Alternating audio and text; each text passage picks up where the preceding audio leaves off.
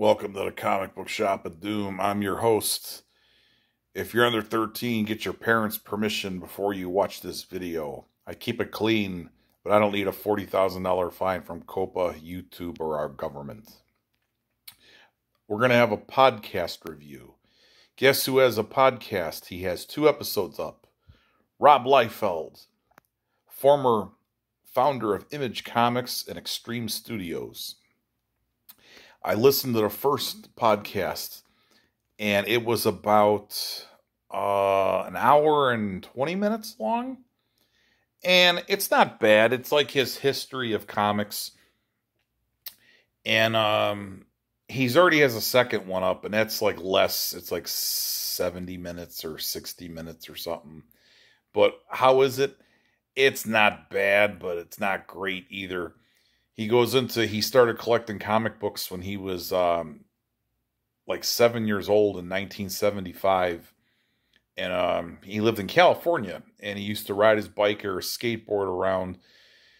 And he would cut grass on the weekends for uh, six bucks a lawn for three bucks in front three in back. And then he would um, go buy comic books for a quarter a piece and to me it sounds like he beat his comic books up because he says he used to take them and his parents would take him once a week. They would go to Pizza Hut and they would have pizza there and he'd bring his comic books there and he says I try to keep my greasy fingers off of the comics.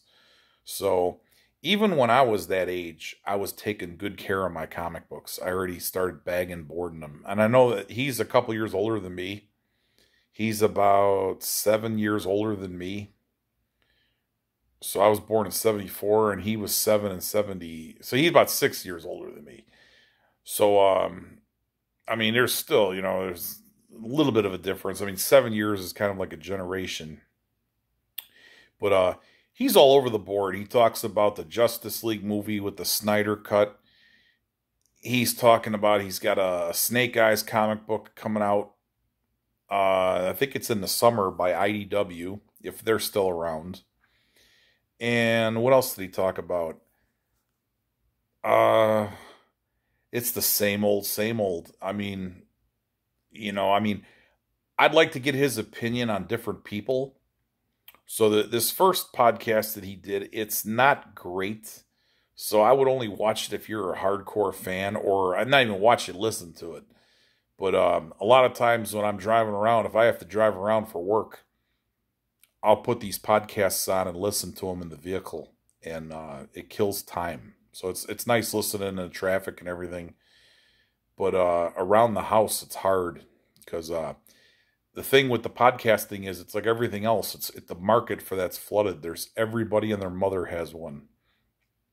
So how do you make it special anymore? It's really hard, but um, it's not bad, but I, I want to see what he has to say about Todd McFarlane and Jim Shooter.